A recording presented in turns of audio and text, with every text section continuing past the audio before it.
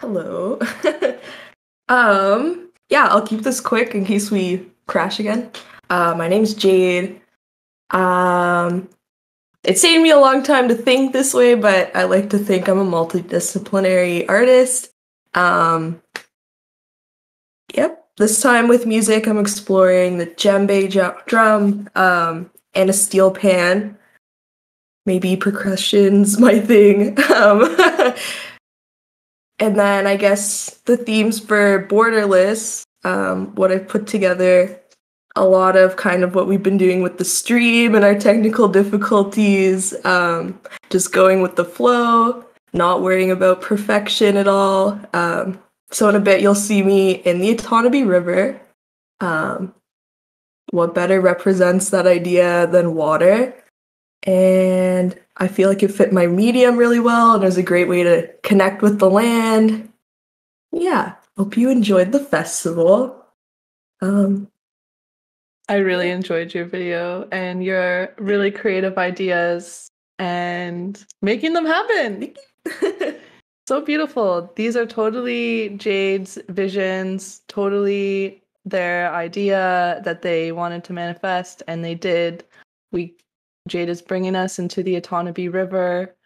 Thank you so much for watching and supporting Borderless Music and Arts Festival and all kind of artists like us who are just surviving, thriving, and we're going to keep making art and making noise and showing up in the community and, you know, just being us. And yeah, so you've been watching Borderless Music and Arts Festival. This is Jade Moulton. Three, two, one.